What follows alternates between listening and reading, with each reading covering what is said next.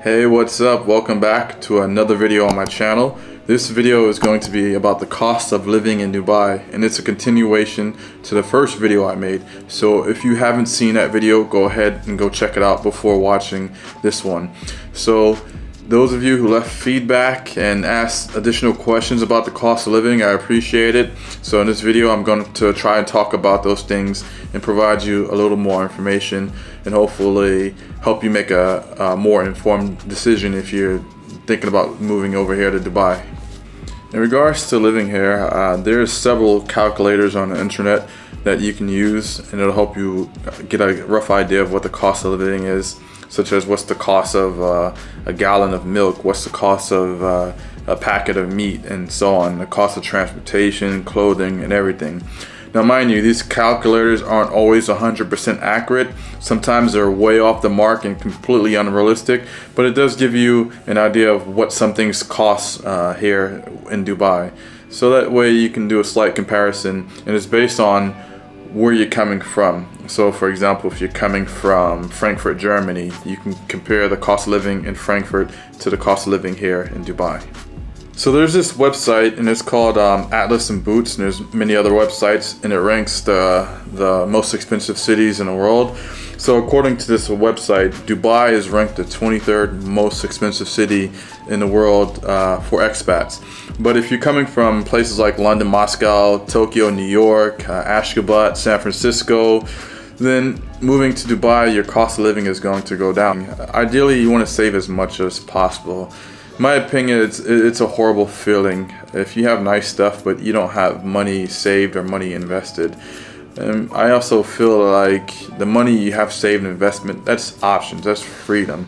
So, you know, what's the point of having a nice car, a super nice place, nice clothes, if you can't go and take time off if you want to or have a, a nice experience?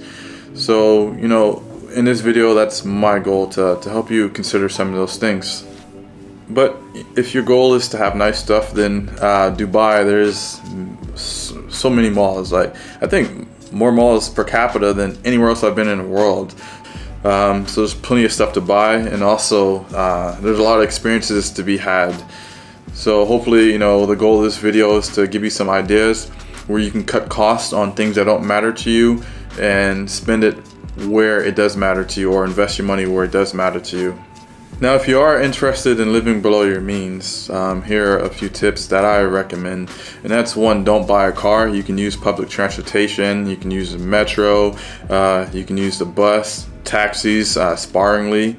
Um, you know, the cost of taxis going round trip can add up depending on how far you go, but definitely the bus and metro can get you to most places unless you live on the outskirts of Dubai. Another way that you can save money is cook your own food if you're eating out a lot, that will add up, especially in some of the hot spots or some of the fancier restaurants.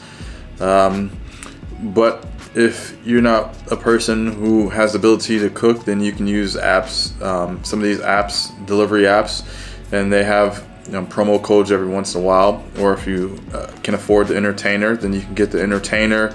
And the entertainer has these deals all over the place where you buy um, one meal and you get another meal free. So it's two meals for the price of one, which is uh, an amazing deal. Another thing to consider is that Dubai is a land of convenience. So um, one of the most common things is that uh, people like to pay for uh, other people to help them come clean their place. But you can save money if you live tidy.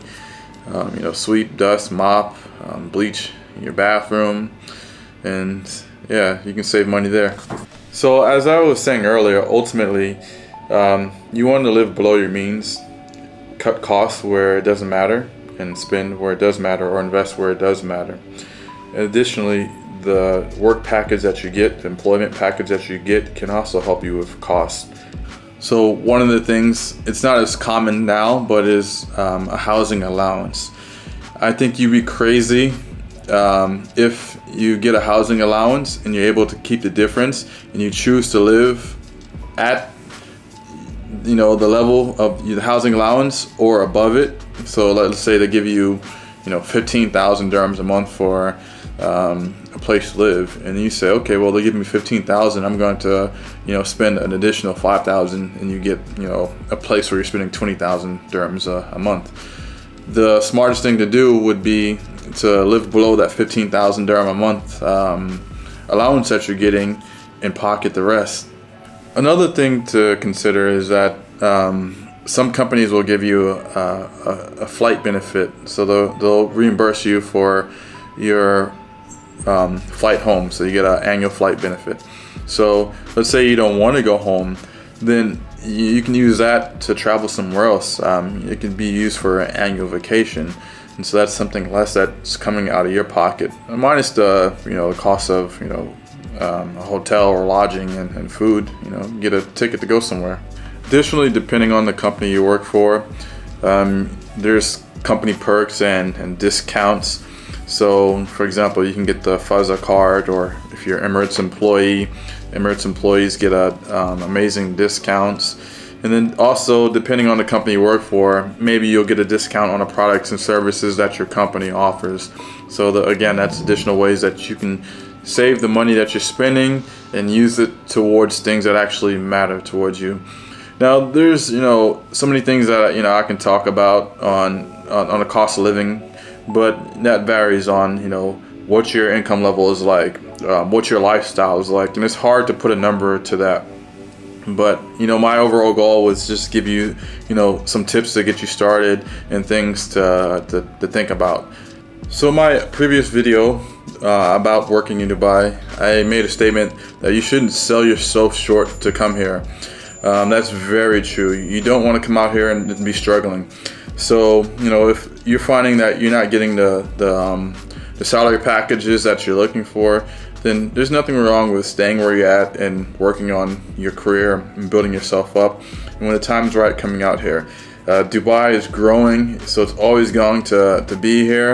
And when the time is right for you and you can live the lifestyle that you want, then make that hop.